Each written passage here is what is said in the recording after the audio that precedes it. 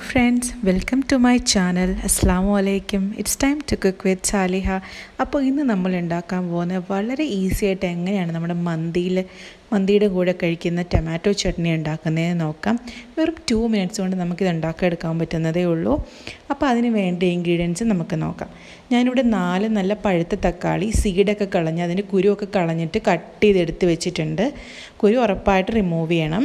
പിന്നെ നമുക്ക് വേണ്ടത് രണ്ട് പച്ചമുളകാണ്. പിന്നെ ഞാൻ ഒരു നാല് തണ്ട് മല്ലിയില എടുത്തിട്ടുണ്ട്. പിന്നെ ഒരു ചെറിയ ലൈം എടുത്തിട്ടുണ്ട്. ജ്യൂസാണ് നമുക്ക് ആവശ്യം. നാലല്ലി വെളുത്തുള്ളി തൊലി കളഞ്ഞെടുത്തിട്ടുണ്ട്. ഒരു നാല് ഇല പുതിന ഇല എടുത്തിട്ടുണ്ട്. തണ്ടൊന്നും ഇല്ലാതെ എടുക്കണം. പിന്നെ നമുക്ക് വേണ്ടത് കുരുമുളക് പൊടി ഒരു കാൽ ടീസ്പൂണിൽ താഴെ വേണം.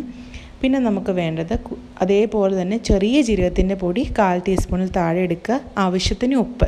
ഇതെല്ലാം കൂടിയാണ് നമ്മൾ ഗ്രൈൻഡ് ചെയ്യേണ്ടത്. അപ്പം ഞാനിതെല്ലാം കൂടെ കൂടിയിട്ട് ഒരു മിക്സിയുടെ ജാറിനകത്തേക്ക് ഇട്ടിട്ടുണ്ട്. ലൈം ഞാൻ അതിന്റെ സീഡൊക്കെ കളഞ്ഞിട്ട് ജ്യൂസ് മാത്രമായിട്ട് ഒഴിച്ചു കൊടുത്തിട്ടുണ്ട്.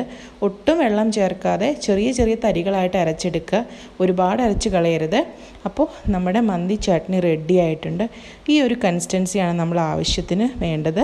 ഒട്ടും വെള്ളം ചേർക്കേണ്ട. കറക്റ്റ് തക്കാളിയുടെ വെള്ളം ഇതിനകത്ത് ഉണ്ടാവും. ഇതാണ് കറക്റ്റ് കൺസിസ്റ്റൻസി.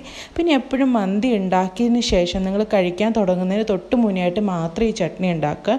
അപ്പോഴേ ഫ്രഷ് ആയിട്ട് ഇരിക്കത്തുള്ളൂ. അല്ലെങ്കിൽ ഇരിക്കുന്തോറും ഇതൊരു ഡാർക്ക് കളറാവും ടേസ്റ്റും അത്രയും ഉണ്ടാവില്ല. എല്ലാ ഇൻഗ്രീഡിയൻസും ഫ്രഷ് ആയിട്ട് ഇരിക്കുന്നതുകൊണ്ട് ഫ്രഷ് ആയിട്ട് കഴിക്കാനാണ് നല്ലത്. മന്തിയുടെ റെസിപ്പി ആവശ്യമുള്ളവർക്ക് ഞാൻ ഡിസ്ക്രിപ്ഷൻ ബോക്സിൽ ലിങ്ക് ആഡ് ചെയ്തിട്ടുണ്ട്. നമ്മൾ നേരത്തെ ഒരു പ്രാവശ്യം മട്ടൻ മന്തി ഉണ്ടാക്കിയായിരുന്നു. സെയിം രീതിയിൽ നിങ്ങൾക്ക് മന്തി ഉണ്ടാക്കിയിട്ട് ചട്നി ഉണ്ടാക്കിയിട്ട് ഡെഫിനറ്റായിട്ട് ഒരു ദിവസം ട്രൈ ചെയ്ത് നോക്കുക. ചിക്കൻ മന്തി വേണ്ടവർക്ക് ഞാൻ ഉറപ്പായിട്ടും ഉടനെ തന്നെ മന്തിയുടെ റെസിപ്പി ഇടുന്നതായിരിക്കും. അപ്പോൾ എല്ലാവരും ഒന്ന് ട്രൈ ചെയ്ത് നോക്കുക. ഒരു അറബിക് ഡിഷിന് മസ്റ്റായിട്ടുള്ളൊരു ചട്നിയാണ്. ട്രൈ ചെയ്തിട്ട് അഭിപ്രായം പറയാൻ മറക്കരുത്.